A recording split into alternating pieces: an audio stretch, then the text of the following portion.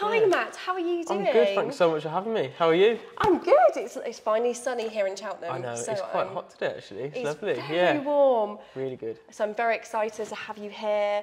I've been watching the show, I've been watching it for years, but this season has just been so exciting, and Good, it's yeah. lovely to to have you here to chat about it. Yeah, no, it's, a, it's, it's an honour. Thanks so much for having me. No, no problem at all. And how have you been finding it? Um, I've been finding it, I, I've been really enjoying it actually since it's come out. And um, yeah, I've had a lot of um, positive feedback so far, which has been really nice. And um, yeah, been, been, been thriving at the moment. Exciting. So before we get to all of your questions that you've sent in, we're just going to have some of my questions, if that's okay. Let's do it, yeah, fire away. My first one is, how did you get into interior design? Um, so I've always kind of like, uh, art's always been my thing. Art and design in school, college, that's always where my head was at, what my passion was. Um, and then when I was looking for a uni to go to, uh, I wanted to go to uni, but I didn't really know what I wanted to study. I didn't want to do art at uni because I thought if I was doing, if I went to uni to study art, I thought if I want to make art, I'll make it anyway. Um, and I really wanted to to learn something, and I've always had a kind of passion for interiors um, and 3D art and installations. And I looked at a couple of um, interior design courses, and I just fell in love with that. And um, yeah, kind of never looked back since, really. Oh, that's lovely. And how have you found your career has progressed since being at uni? Yeah, so since I, I learned a lot at uni, I, I really, really enjoyed uni, and I like I'd love to go back and do another couple of years if I could, just for fun. Um, but yeah, it's, it's progressed well. I've uh, especially since the show's come out, things have really kind of took off, and um, yeah, things are going good at the moment. Exciting. And for anybody out there who is wanting to get into interior design and they're looking at starting their career, have you got any kind of tips and tricks how to start out? So I think uh, if you don't have any interior design experience, I think what's really key is to uh, figure out your style, figure out your like niche, figure out what you like. So I'd recommend for a complete beginner, someone who's just wanting to get started, is to just research a lot, visit kind of cool, um, cool kind of trendy cafes and restaurants and hotels, and kind of put a mood board together of things that you like, and then that will like help you get an idea of what your style is and where you're trying to go, um, which I think is really important because it's it's easy to kind of see an image that's really cool and emulate that, and then you kind of can just bounce around and get lost. So it's really important to yeah find find your niche and find the direction that you want to go with in interior design. So yeah, I just recommend research and put together a mood board um, and a kind of folder or lookbook of images and things that you like and what you want to design. And I think from there, once you have more of a direction, uh, you'll be able to, yeah, it, it, it'll be easier to find work and start making steps towards that direction. I suppose figure out what your signature style Yeah, is and yeah, yeah. you know is it just texture is it pattern what what it Yeah, it yeah, yeah, and then what you want to design because there's all different types of design which require Mm. different skills and different kind of needs within Mm. the design. Uh, so yeah, I think figuring out where you want to go is Mm. key before you start kind of making any big big moves. That's interesting because I've never really thought about that actually. But a home design is very different to a hotel, Yeah. and restaurant is very different to, Yeah, to yeah, cafe. so how do you kind of marry up those types of projects? I suppose. Um, yeah, I, I mean, so it's just like lots of research. I think Mm. is key, and not going uh, into it head first. The design process is really important. So just Mm. Chilling out, taking a step back, and doing research first, collecting Mm. mood boards, images, samples, and this because that's a fun bit as well. The design process is fun. So just don't don't jump into anything too quickly. All right, okay, Mm. you know, starting a project. All right, I like that. I like that sofa. I want to, you know, I want to buy that. I'm going to put that in. Yeah. You know, take a step back. Just get loads of images together, samples that you like, put them together, figure out what you like, and uh, yeah, the design process is key, really. That's amazing. And do you have any particular areas that you prefer to? Because for me, I prefer designing a bedroom. Yeah. And that's where I really, Yeah, yeah, really yeah. come alive. Have you got an, a particular one? I think where I want to go is towards hotels and hospitality design, commercial design. So maybe like boutique shops or boutique hotels, restaurants, cafes, um, places where everyone can experience, if that makes sense. Like anyone can go into a cafe or restaurant. Um, and I think creating like, I think what I like about commercial design, like a restaurant, for example, is people spend three hours in there max. yes. So you can make it a bit more immersive, you can be a bit more creative, and you can create something that you wouldn't find at home. yeah. So I find you can be a bit more creative maybe in um, commercial spaces, but at the same time you have to make sure that it's practical and functional and as functional. well. Yeah, so it's Yeah. again. I absolutely loved it when you and Roisin did the cafe week. Yeah. And it was so interesting seeing both of you really think about that space. Like, how is it going to work on a functional basis? How are people going to experience that? And do you find that storytelling in commercial spaces really works? Yeah, definitely. I think um, yeah, starting with what the brand is, how do they mm. work, and yeah, how you know, yeah, the journey through the space, and mm. and like you said, the story. That is definitely really important. I loved the herbs. Yeah, the herbs. Was such a good little add-on. I, I would just be sitting there eating mints Yeah. if I was in Just that put it in your drink, and it's yeah, nice. Yeah, yeah, yeah. absolutely on your food. So the cafe had a really strong ethos that they wanted to get across mm. in the design. Um, you know, they're non-profit, everything goes to charity, and they help out the local community a lot.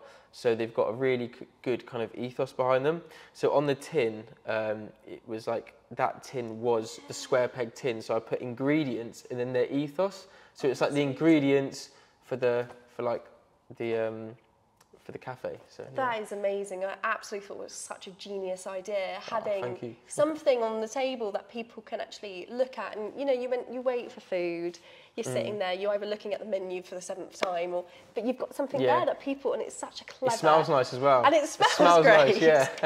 and you can enjoy it. Exactly, yeah.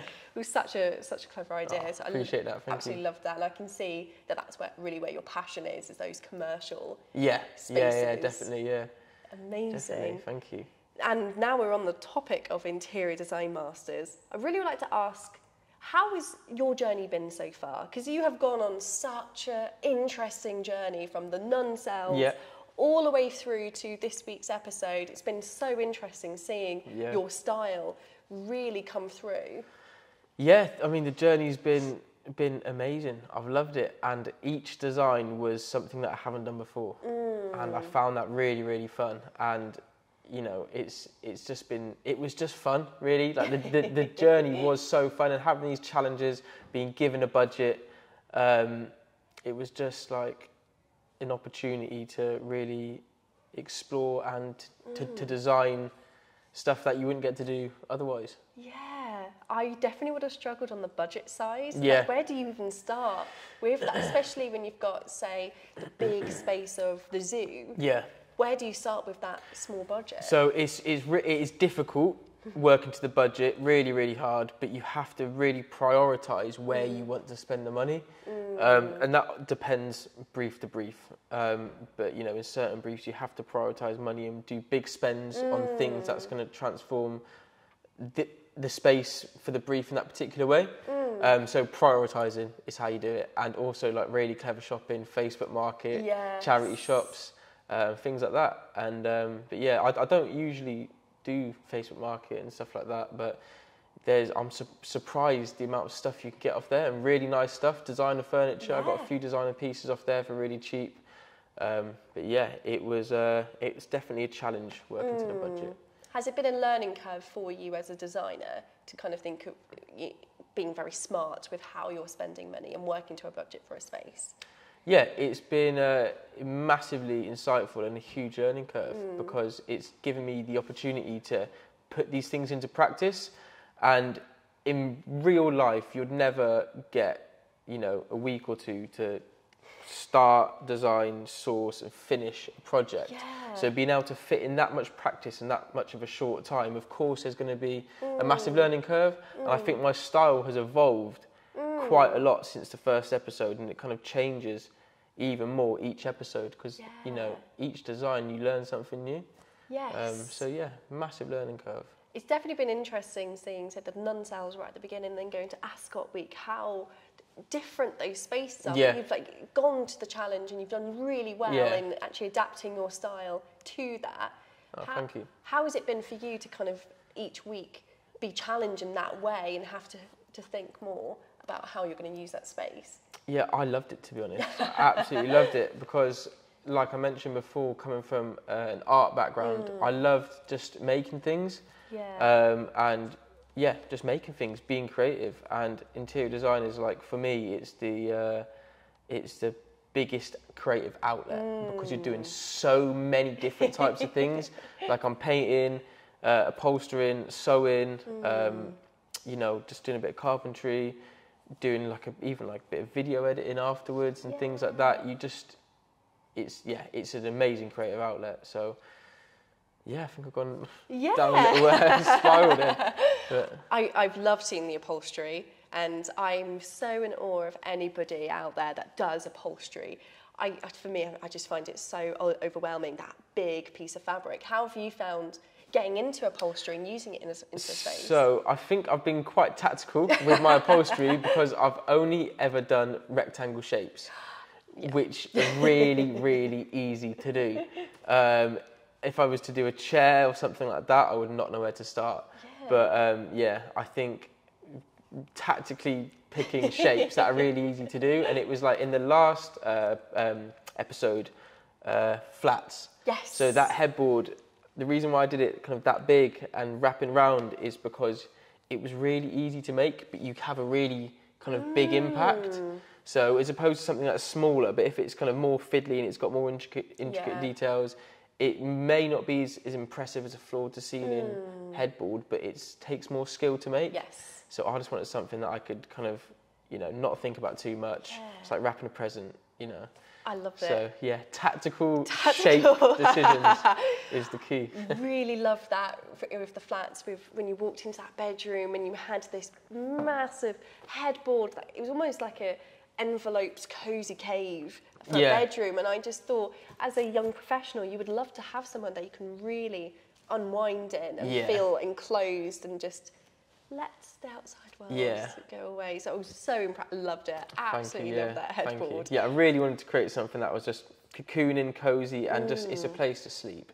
It's really soft sounds in there, um, and yeah, just comfy, soft walls. Yes, and it's definitely interesting adding texture to walls, Headboard, paneling. Such a great idea, isn't it? Just to Yeah, definitely. add dimension. Yeah, it just adds interest. Yeah. It just adds Mm. interest, and when everything sits together, um, you don't even really notice it that much. I think when you when the when you do a design where something doesn't work, Mm. it's easier to notice.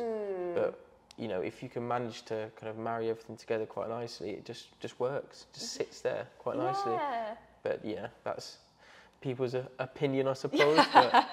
I personally love paneling and upholstery, Cool. so I'm a little bit biased.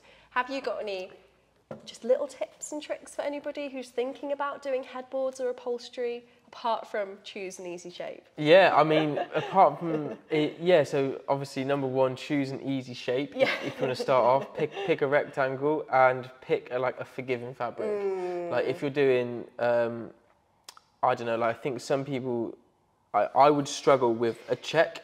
Yes. Even though it's got lines to follow, Yeah. it will show mistakes. Yes. So pick like a forgiving fabric, if that makes sense. Something where if it's a little bit warped or the fabric's not totally straight, it doesn't look wrong. you Mm. Yeah, no. I get that. And just go for it. Like, yeah, it's- trial and error. Yeah, trial and error. And it's it's it's like I say, a headboard is totally different to doing like a chair. Chair, So yes. yeah. Or like you know, or you could do like the the cushion of a stool, something simple. Just pick something simple and pick a forgiving fabric and go for it. Fabric. I love that. I'm gonna tag you in anything that I try now, and you can you can see for yourself. Let's do it. So we have got so many questions coming in from you guys in the last couple of days, and so we're gonna start straight in with Interior Design Masters. And what has been your favourite challenge so far? Uh, so I've genuinely enjoyed all of them, but I Mm. think if I had to pick a favourite, it would be cafes, Yeah. purely because it's it's more in the direction that I'm trying to go: commercial Mm. design, hospitality. Uh, so it's a step in the right direction, and uh, it was also really fun working with another designer that had a different style, because I feel like that's how it would more be in the real world. I feel that you rarely make all the design decisions yourself. Um, so yeah, I think my favourite would have to be Cafes Week. It was so just overwhelming watching it and just seeing both you and Roisin create this beautiful space. Was there anything in there that you particularly thought that was my favourite bit? Um, it would be my favourite bit would be the corner in the back.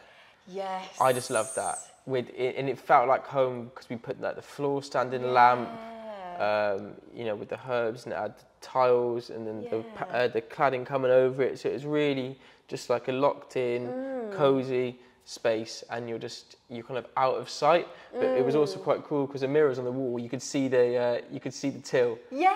So it's like if you're questioning whether to get up for another coffee, you can just see how busy it is. But yeah, that's that that was my favourite bit. It was it was that whole little little space, and there was that really tall tree there, which you found on Facebook Marketplace, and uh, it was just a great find because it gave height to the room. So Yes, things were all different heights. You had the you had the seating and the table, Mm. then the lamp, then the tree, and it just kind of felt it felt nice in that corner. So It that was, was- my favourite bit. amazing seeing that space come alive because you would have thought right next to the toilets you know you don't really want to sit Yeah, there yeah, yeah. but actually i would love to sit there Yeah. that was such a nice intimate cozy space that you can enjoy for a coffee with your friends or you know at, in the evenings with a couple of drinks it was such a Yeah. Oh. smart decision Thank you. Yeah, I do feel that me and Roisin, uh, we did well with that with that corner. I think, especially with it being opposite the toilet, but still somehow was everyone's favourite place to sit. So it's just yeah, amazing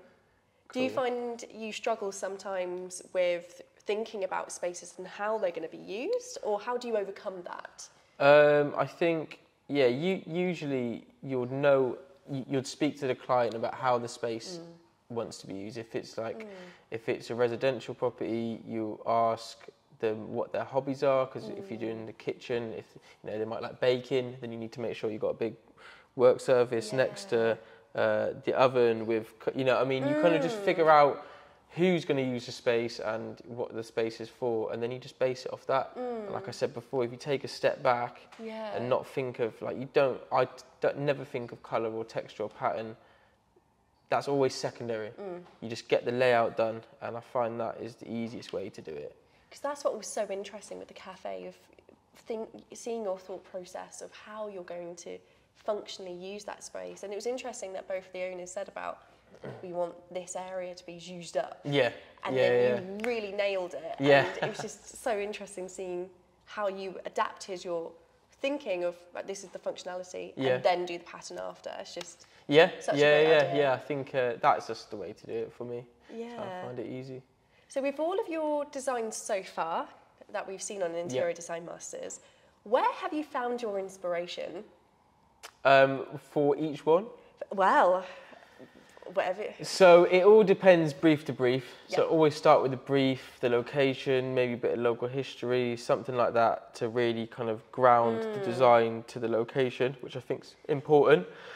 Um, and I'll always so I'll always start off if we're doing it vaguely and kind of covering general basis. So yeah, start off with research, local history, um, things like that to make sure that design is kind of grounded.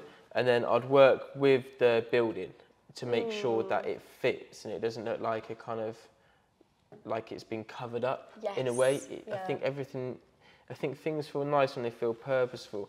And um, yeah, so starting with the building, the architectural features in it, not kind of covering it up, but working with it, highlighting it, and make something that fits. And then you kind of yeah design the space, the layout, and then you get into the fun bit. Yeah. How do I want people to feel? And then you whack in the colour and texture and things like that afterwards. Amazing. And where did you get your inspiration with the nun cells? Because everybody Yeah. had such an interesting signature style with that one. And it would be, it would be really interesting to know how you got your inspiration of that space. So I started off by just looking at the room and starting off with, with the things that I think didn't work. Mm. So again, I didn't go into the style or colour or print or pattern or anything, but that all came afterwards. Yeah.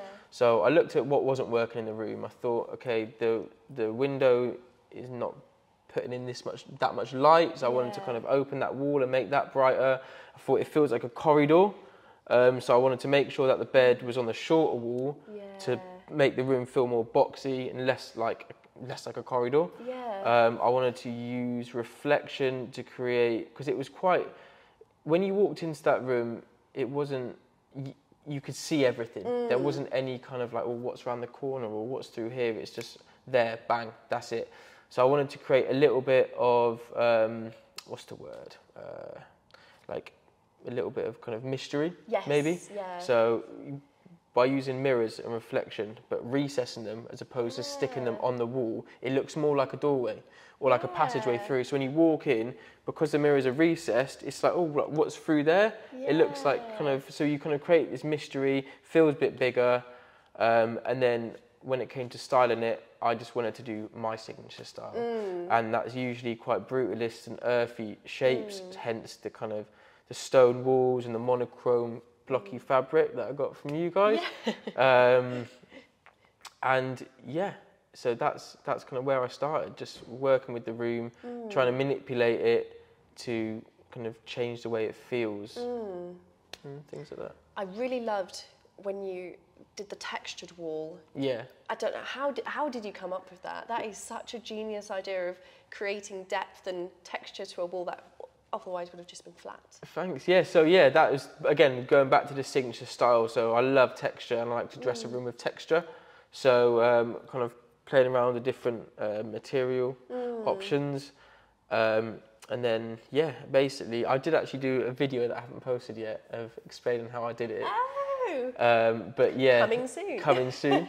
That's it. But yeah, it just like basically just I was looking at panels, uh, texture panels, wall panels, but they're all too expensive. Um, so I just thought I'll have to just make my own.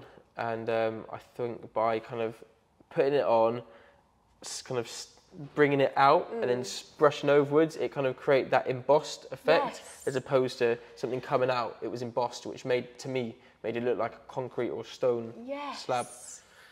But you- you did it in such a way where it didn't feel very cold, which is what I sometimes worry about. If I love the industrial look of Yeah. you using that in my own home, and would it make a room look really cold? But the way you did it, it just felt quite warm. I think lighting's important as well. So I put some kind of nice yellowy, warm lights either side of that main Yes. strip, which made which gave a warm glow and it gave uh, it gave a glow throughout the height of the room, which was quite nice.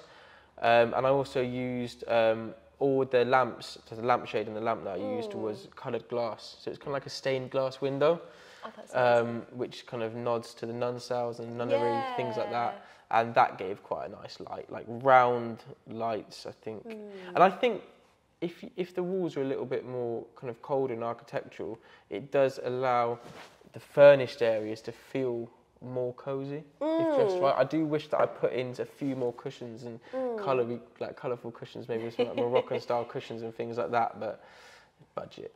Yeah, of but, course, um, of course. But yeah, It's interesting that you say about lights because with the last episode of the flats, that was such a positive. The, Mm. the different lights that you had and the different layers that you put them in. It wasn't just one standing light; it was lights at different areas. Yeah. How would you use lights to to create cozy corners versus make an accent? yeah. So I would avoid lights that shine down Sure. because they just cast, they- they don't cast very nice shadows. I prefer uplighting, and I think you need a light. Ideally, if it's me, having a light behind something that just gives like a, a, a base glow to the space. Having a height, a light kind of mid level, Yes. and then you know maybe like three different levels: floor, um, floor lamp, and table lamp, something like that maybe.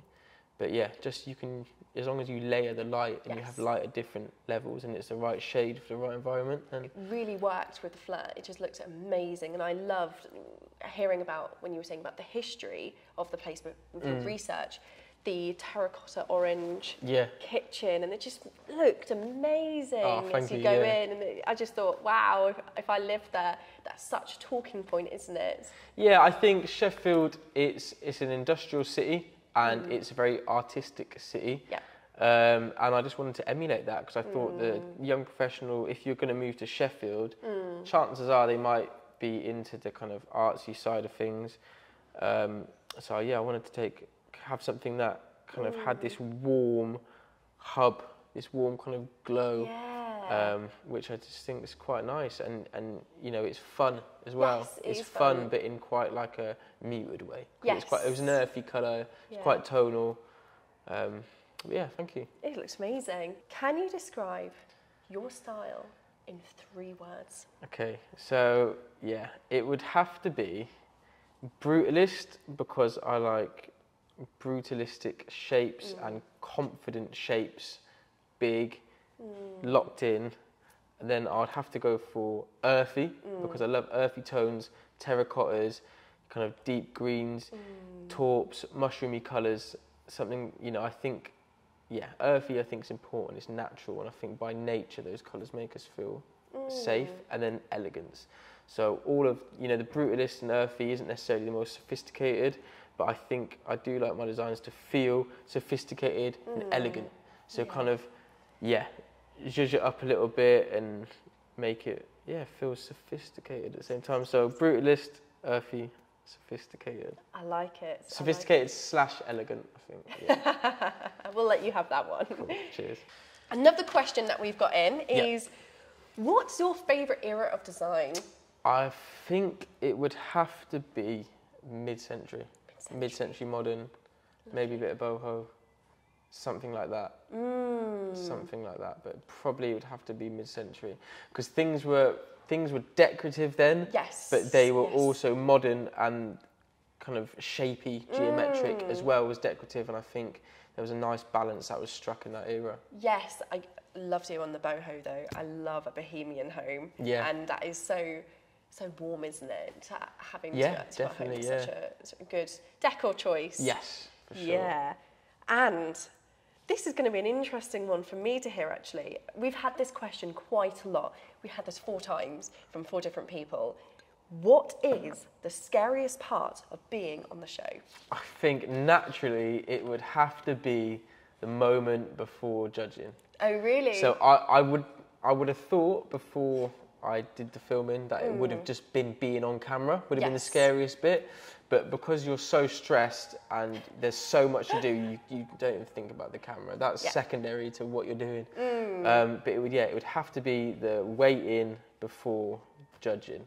It is so tense, and you just you, you, you never know. Like you could have a feeling or an inkling, but you know some of the designs that I liked the least, the judges liked the most, Mm. Interesting. and the designs that I loved, the judges had more issues with. So yeah, it's just that moment before judging is terrifying, I could, I could imagine. very tense, I very can tense. imagine. and did you find it really in, peculiar? I would say peculiar. I would find it really peculiar being being judged by people that I you know of and you've heard of, and that celebrity interior Yeah, designers. yeah, How yeah. did you feel when you kind of got told it's this person this week? Yeah, it's strange. Like when they said Kelly Hoppen, and, it's someone that I was just like, bloody hell! Like, I've watched her on Dragon's Den, I watched mm. her on like you know loads of different TV segments, seen her you know ins- insane interiors, huge, mm. huge tropical like beach resorts and yachts and mansions and penthouses and like Yeah. You know celebrities' houses and things like that. She's done massive stuff, and to see her just standing there, it's really surreal, so surreal. But it's also you know there's all these cameras on you as well, so it feels a little bit superficial as well. Sure. But it's yeah, it's strange. I, I don't know. It's it's strange. I can imagine. Yeah. I, I don't know how you, you all- managed to say cool. it all feels like a bit like you're in a dream in a way because it all goes by really quick and it's really intense. I can imagine.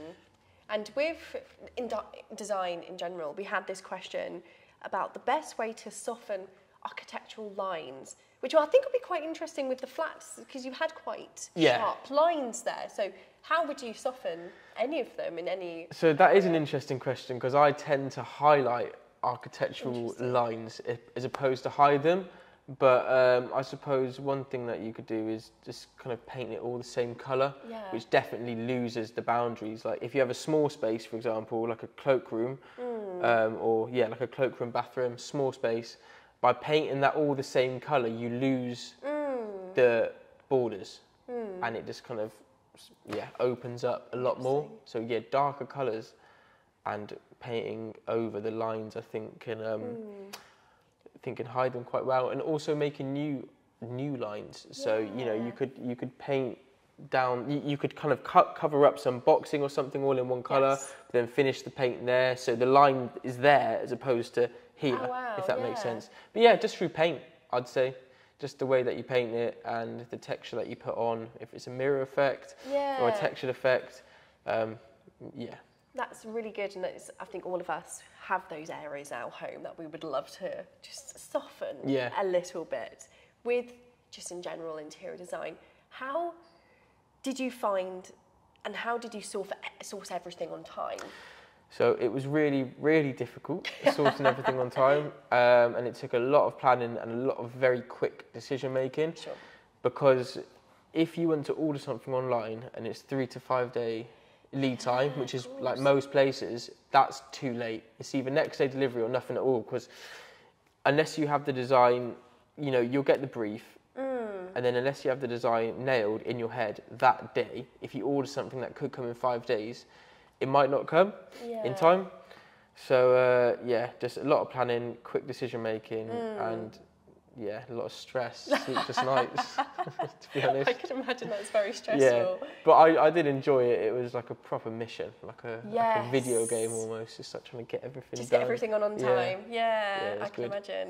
That's yeah. That mm. I would definitely struggle with that because I'm very indecisive when Yeah, it comes to design. You have to be so decisive, and I'm indecisive. I'm indecisive as well. Really indecisive person. Even when like I'm picking from a like a menu in a restaurant, I, Yeah. I don't know. I don't know what to choose. So yeah, it was interesting having to just like bite the bullet with a lot of things. And I suppose this is a really good question that we've come in that links quite nicely Hmm. is what is your process and how do you initially come up with an idea for a space? So I think I did touch on this a little bit before, but the it's, it's the design process is mm. really important. So you start off collecting images. You start off with a mood board and sketching, just quick Yes, sketches. Yeah. Just look at the place and don't think about making a good sketch. Just draw ideas and mm. just keep on sketching until you get something.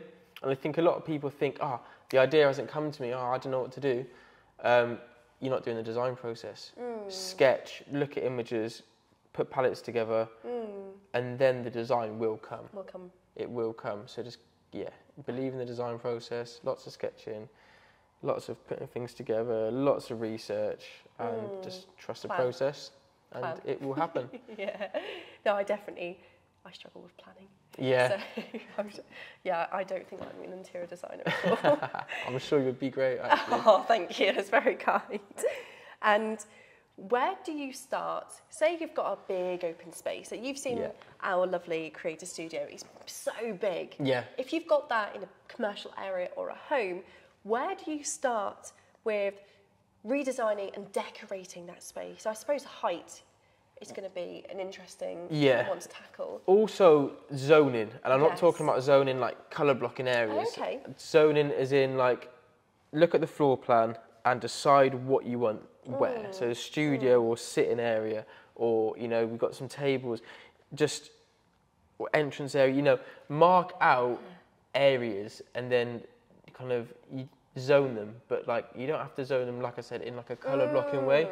It could be with a rug or like a painting or some lighting or a plant or like a little kind of divider and Mm-hmm. just get the layout sorted. Because when you just look at a space and you kind of look at it as a whole space, it's a bit difficult. But break it down into areas Yes. um, and then work from there. So yeah, it's zoning, and that's part of the design process. When, you, when you're doing a place, you kind of have the, and you can play around with, with different ideas. You know, you put the studio here, for example, Yes. and then the sitting area here, or like a little lounge bit there, and then swap that around. Do, do another drawing with them in different places, and then just keep on going until you've got one that you like, and then build off that. I love that. I Absolutely love that idea of you know nothing set in concrete. You can really Yeah. keep designing Yeah. done until it feels right. And sometimes I'll like if I want another option for a space, I'll start designing it. So I'll put something in another place without knowing where the other bits would go, but Yes. just do it and see what happens. And then uh, yeah, so yeah, just zoning and just lots of uh, lots of kind of uh, plan, view plan Yeah. drawings, top view, lots of drawings like that, and then it should just come. That's such a great tip. Well, thank you so much. I absolutely love that. And I'm going to go home now and Perfect. try Yeah, to yeah, try good. it out. Well, that is it. Matt, we've got so many questions that we got in and Yeah. we've managed to answer them all. So thank you so Amazing. much for coming in. Thanks for having and me. thank you to everybody for watching. If you like the content that you see, please like and subscribe. And also, if you've got any other questions for Matt, please send us a message, send Matt a message, and we will see, well, we'll see Matt next week in the quarterfinals. Wish me luck. Yeah. well, good luck and thank you again for coming. Thank you so in. much. Yeah, my pleasure. And thank you everybody for watching. See you later.